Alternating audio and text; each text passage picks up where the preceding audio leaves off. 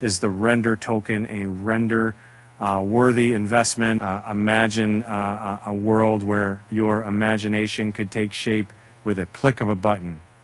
That's the promise of Render, a platform that lets you create stunning 3D graphics without the need for expensive hardware. But is its token worth investing in? In the past 24 hours, the Render token has skyrocketed over 40% reaching an all-time high. It's like a rocket blasting off into the crypto stratosphere. And over the past month, it's soared by an impressive 118%. Uh, but what's driving this surge?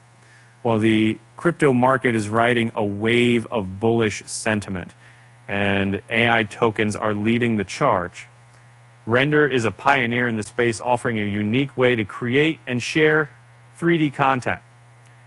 As the market volatility intensifies, uh, the bulls are gaining momentum. They've broken through resistance levels, sending the token soaring, and with the technical indicators showing a surge in buying like pressure, it seems like the party is just getting started.